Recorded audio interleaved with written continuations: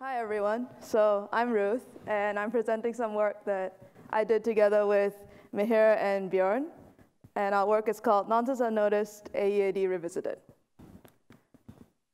So our work's on symmetric encryption. So maybe when you think of symmetric encryption, you get a picture like this in your head. Um, I think we can all agree encryption should probably take a message. It should probably return something. And decryption should probably take that output and recover the message. Encryption and decryption should probably also share a key. Um, and you would think for how long we've been using symmetric encryption, we should have figured out by now all the other inputs. But we seem to still not have made up our mind. So let's step through a bit of the evolution of how symmetric encryption has worked over the years. Um, so I guess it's a crypto talk, so I need to start with the one-time pad. Um, and we eventually moved on to randomized notions of symmetric encryption. And our security goals move forward to privacy in CPA style security goals. Uh, this was usually accompanied with schemes that were of operation, block cipher things like CBC. Uh, if I can fast forward to where we are currently, uh, you will see that standards and protocols are using nonce-based encryption, what I'm going to call NBE1 syntax. And our security goals have moved from privacy only to now requiring privacy and integrity, better known as AEAD. So your NBE1 schemes are GCM, which everyone knows is used in TLS, and other things like OCB and the final portfolio of Caesar and stuff like that. So why did I call this one NBE1? Obviously because I'm going to define NBE2. Um, so we like to see our work as the next step in this evolution. We find our problem with the syntax of NBE1, and we propose a new syntax NBE2, and we give a slightly stronger notion of security, which is nonce hiding AE. So I'm going to go into this now. So maybe let's take another step back and talk about what does it mean to have a cryptographic definition. So perhaps you are aware there are two components to every cryptographic definition, syntax and security. So what's syntax? Syntax is what are the inputs and outputs of your algorithms? Are they randomized? Are they deterministic? That kind of stuff. And so as I showed on the previous slide, um, we all have the message and the output of the ciphertext and the key, and what this syntax should really tell us is what additional inputs your algorithm should be getting. As security, we usually define this using a game. And the game just needs to have an adversary. It has oracles. And the game decides when the adversary wins and how well the adversary is doing via advantage function. So let's go into how NBE1 is defined. So this was defined um, by Rogaway and others. So if we have a scheme SE1, our syntax NBE1 will take a message and produce what we call a core ciphertext. And from this core ciphertext, you should be able to retrieve the message. And the special input we have here is what we call a nonce. So what is a nonce? Uh, nonce stands for number used once. So it should be any non-repeating quantity. And so in the real world, I guess the most common cases of nonces are random numbers and counters. But you can also see people use things like disk sector numbers, packet numbers, um, device identifiers as nonces, so long as it's non-repeating. Uh, and I will draw your attention to the two things in yellow that's very important for the rest of this talk, um, that we're supposed to be able to pick any non-repeating quantity, and that the nonce is given as input to both encryption and decryption. Uh, and I'll also make the note that half of AEAD is the AD part, but I'm going to leave that out for this presentation to keep it simple. Uh, you can look at my paper if we want to talk about AD. So let's go to a high-level idea of what the security goals are. Um, this is privacy and authenticity. So an adversary without access to the key K should not be able to distinguish the outputs of encryption from random, and it should not be able to get the decryption to return anything but reject. Uh, for those of you who like games, this is a picture depicting the game. Uh, you see the adversary has access to two oracles, and it needs to distinguish between a real world and an ideal world. And idealized encryption should return random strings. Idealized decryption always returns bot. And I will just note that these are the notions of security under which things like GCM and OCB have been proven secure.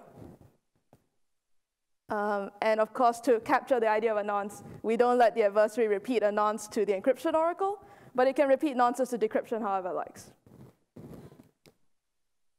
So now we can get to the main question that motivated all of our research, which is, how does this nonce that goes into encryption go over to decryption and go into decryption? Um, and we realized that there's a difference between how it was uh, presented in theory and how it actually happens in practice. So in theory, um, it looks something like this. It seems like between encryption and decryption, it sort of magically gets there. Maybe they conjure it up on the other side. Maybe there's a wormhole. I don't know. Not mine to judge. Um, but in practice, we haven't really figured out the wormhole yet. So we send it in the clear with the ciphertext. Seems like a simple solution. Seems like it can't hurt, right? Right?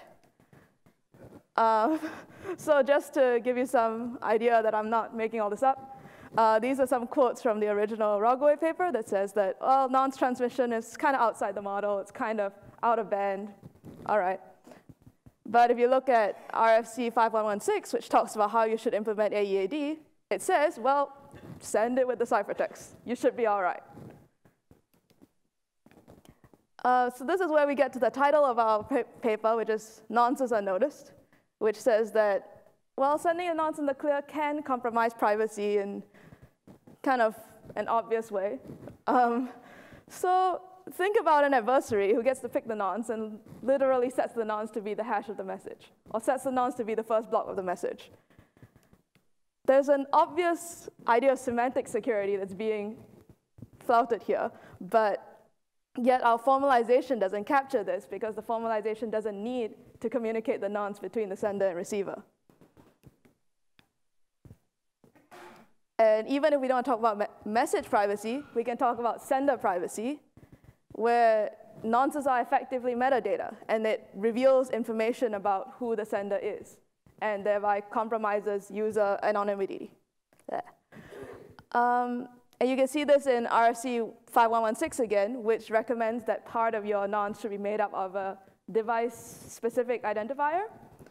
And this would obviously be able to let an adversary tell which device you're sending something from, if you're sending the nonce in the clear. Uh, and we'll note also that um, because AE1 NBE1 is supposed to be indistinguishable from random, it's supposed to give you anonymity sort of for free. But if we then go and send the nonce with it, well, you've kind of defeated the whole point. So I guess the natural next question would be, um, what, what impact does this have on things like GCM and TLS? Are we, are we completely screwed? Um, no, no, it's not a problem in TLS, for those of you who are worried, because in TLS, the nonce is not transmitted in the clear. But it may be a problem depending on how you use in other uses of GCM, other uses of other NBE1 schemes, because the attack that I sketched on the previous slide kind of can be extended to any NBE1 scheme that chooses to send the nonce in the clear. And so it's not that this problem somehow shows that AE1 security does not hold. It just says that there's a gap between how we thought about it and how it's actually being used. So to fill in this gap, what we did was we want to propose a new definition of a new syntax and a new security definition. And after that, I need to show you how to do it, how to get schemes that achieve this notion of security. So we're going to do this by transforms, which take existing primitives like an NB1 scheme and return NB2 schemes. So let's do a brief interlude to say that we're not alone in pointing out that this is an issue that needs to be addressed. Uh, shortly after our paper was published, uh, Dan Bernstein came up to us and said that you know, he was concerned about similar stuff when um, they were writing up the call for Caesar, and it was reflected in the call for Caesar because Caesar has sort of a public message number and a secret message number. And this was actually formalized as AE5, but this is different from our formalization. And um, Ashur, Dunkelman, and Luykx use the NBE2 syntax, but they use it for, to achieve RUP um, which is kind of cool. And we think that the future direction of our work would be to extend our syntax to all these other interesting kinds of AE that's coming up and see if sending nonces in the clear causes any problems down the line for any of this stuff. All right, so let's return to our two parts of a security definition and start with the NBE2 syntax. So spot the difference. There's not a big difference here. Um, the difference is that decryption doesn't receive the nonce anymore. It's only an input to encryption. And we're going to call this C now the full ciphertext, as opposed to the core ciphertext. Uh, in particular, this means that if decryption needs the nonce to perform decryption, you need to somehow send it inside of C. And so we have a better way to inspect how the nonce communication is occurring. Okay, let's move on to security. So security is not too different from the initial notion. We basically just extend it to cover the new syntax. Uh, so the only thing to note is that decryption now doesn't get n anymore as an input. And the encryption oracle should return a random string that's of a length comparable to the full ciphertext and not the core ciphertext. OK, so I can move right along to how do we construct these AE2 secure NBE2 schemes? And we think that the correct way to do this is by transforms, because if we start constructing AE2 secure NBE2 schemes from scratch, you're kind of ignoring all the work that has been done to standardize and optimize and prove secure all these great NBE1 schemes, not to mention other primitives. So how a transform works is it takes an NBE1 scheme SE1 and maybe some other primitives and gives you back an AE2 secure NBE2 scheme. It's like magic. It's great. Um, and what goals do we have for these transforms? Our goals are we want to have no ciphertext overhead, and we want to have constant computational overhead. So I'll note that for the zero ciphertext overhead, it's not a simple comparison of the length of the core ciphertext and the length of the full ciphertext, because that's kind of not a fair comparison. If in usage you're sending the nonce in the clear, what you really should be comparing is the length of the nonce concatenated with the core ciphertext and the length of the full ciphertext. So that's what we're going to define as ciphertext overhead. And this actually makes it slightly non-trivial to achieve um, to achieve AE2 secure NBE2 schemes in practice because often nonces are shorter than one block of your um, encryption primitive, block cipher primitive. Uh, so you can't just do the trivial thing of like, let's push it through a block cipher and hope it works. Um, okay, so to give you a flavor of how it works, uh, here's one of our transforms, which I put in a picture over there. So how the transform works is with this equation over here, where SE sub HN1 is an NBE2 scheme. Um, and it takes an NBE1 scheme SE1 and a PRF F, and it outputs an NBE2 scheme.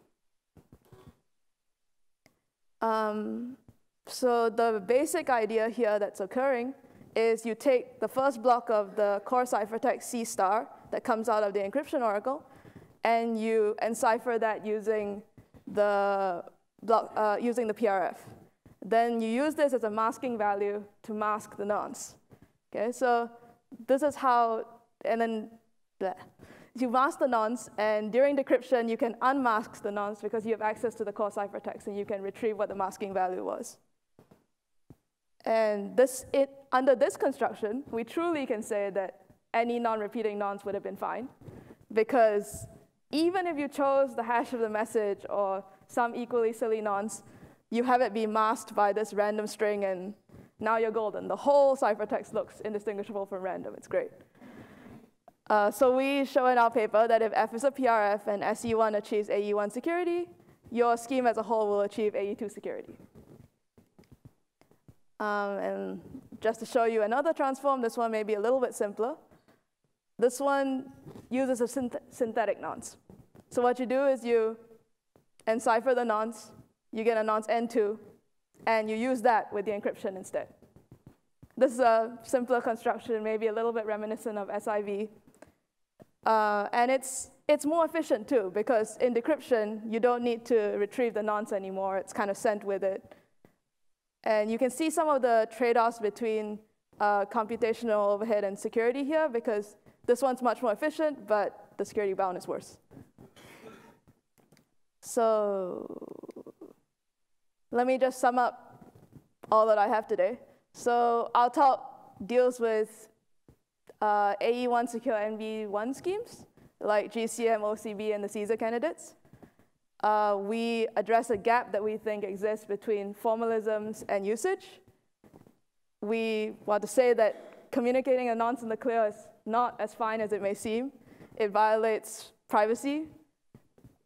Uh, and to address this issue, we give a new definition of syntax and security, and we show that it's very simple and efficient to construct AE2 secure NBE2 schemes.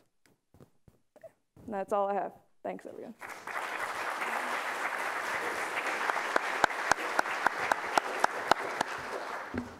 Uh, thank you very much for the presentation.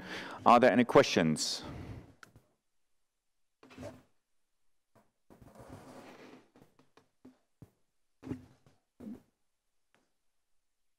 Was there a question? People just pointing at each other? um, okay, then, then I would have a question, please. Oh. Um, um, so you said you, you leave out the details of the AEDs. Uh, like you, you said you focus on a, on a version of encryption which doesn't consider associated data. Um, do you have results about AEDs in your paper?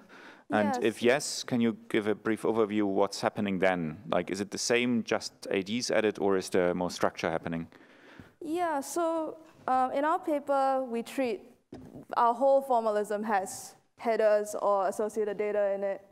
And for the basic constructions that we sort of give here, it's pretty much a natural extension because the header is just given as input to your NB1 schemes. Uh, but with our, we also have some advanced schemes in the paper that I didn't talk about here, which kind of extends nonce misuse, and then it gets a little bit more interesting how to fit the header in. Um, yeah. Okay, thank you. Any more questions? Are they are in back? Uh, there's, there's microphones uh, apparently somewhere. Can you okay, I can hear you. Okay, I'll speak. In the TLS protocol, there are 32 bytes of random numbers sent to the client hello and server hello, separate from these these that we're talking about. Why aren't those random numbers also considered? Well, it depends on the model that you're referring to. So I'm not super, I'm not super familiar which, with which 32 bits you're talking about. But what I will say to that is um, if your version of encryption covers those 32 bits of nonce, 32 bits, then it needs to, you, you need to come up with a formalism that incorporates that. Yeah. I have a question. Uh, I'm here. Oh, hi. Uh, so there are people who want to use some uh, very short nonces. They just assume that nonces do not repeat. But if you transform this short nonce into another nonce with a, in a pseudonym way, you, have, you, you may have some, uh, some problem with collisions, right? So you need some collision resistance. So are you losing something this way? Uh, so it depends on which one of our transforms you use. So some of our transforms will incur sort of like a birthday bound problem, which is something like the last transform I showed. But we also have some transforms that avoid that problem using some other techniques. So, yeah. Yeah, I have a question. Um, part of your model is that the attacker, the, the sender is trying to leak data, and you're going to stop the sender from leaking data in a world where everybody is internet connected. I, I don't, just don't see the point. Um, so you're saying that what the sender doesn't want to leak data? No. Or well, if the sender wants to leak data, he'll put it on Dropbox. I mean, come on. I understand. Um, and we're not saying that we're not saying that there's anyone out there who is setting the nonce to be the hash of the message or something equally stupid. Um, but even something like counters, right? I mean, that reveals information that is not captured in the model.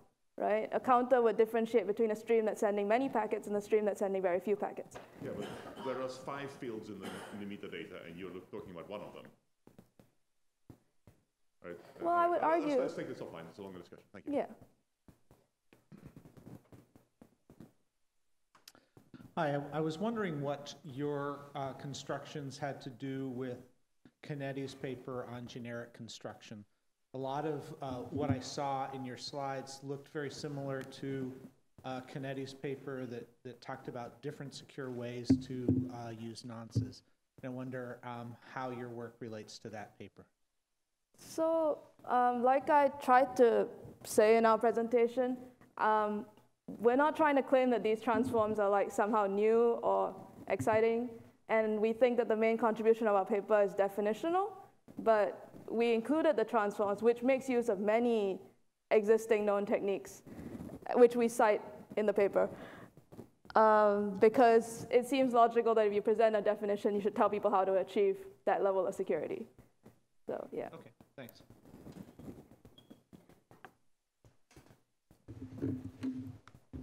Okay, thank you very much.